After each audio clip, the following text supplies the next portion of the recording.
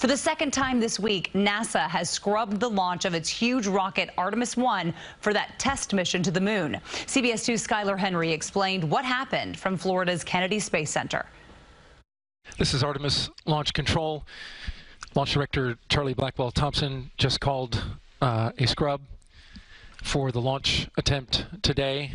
NASA's most powerful rocket will have to sit on the launch pad a while longer after officials called off Saturday afternoon's liftoff because of a hydrogen gas leak. It was uh, characterized as a large leak. It's the second time since Monday that leaking hydrogen put the launch on hold. The weather was cooperating early Saturday morning when the launch team began loading nearly a million gallons of fuel.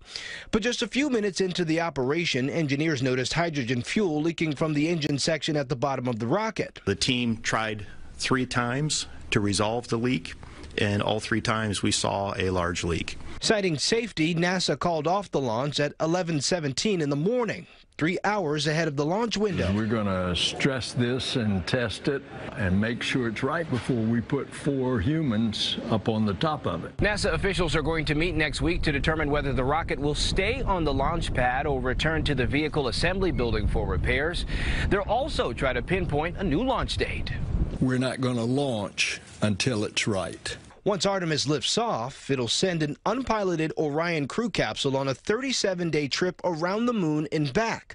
A dress rehearsal that's another step towards sending Americans back to the moon as early as 2025. Thousands gathered along the Space Coast Saturday, hoping to see Artemis blast off. I dragged my wife down here. We got we got here yesterday at 7 a.m.